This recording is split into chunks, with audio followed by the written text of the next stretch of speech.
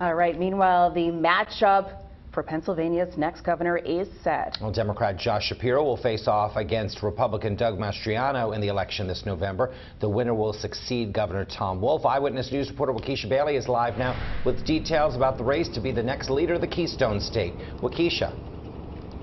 Yeah, good morning, Jim Janelle. So in a landslide victory, Doug Mastriano is the Republicans' choice for the next governor. So this is where we stand so far. Mastriano won the state's Republican primary for governor with 44% of the vote, beating his opponents Lou Barletta, followed by Bill McSwain. Now, Mastriano, a state senator, has been leading the polls when he scored a last-minute endorsement over the weekend from former President Donald Trump. Now, the retired Army colonel and two-term senator has been very vocal in Trump's efforts to overturn the state's results in the 2020 election. He also funded buses to shuttle supporters to the rally on Capitol Hill January 6th of 2021. Now, after months of campaigning last night, Mastriano thanked his constituents.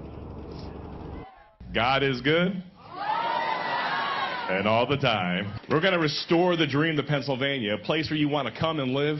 We're going to be the most prosperous state in the nation. Josh Shapiro is backed by dark money, by unions, by corruption.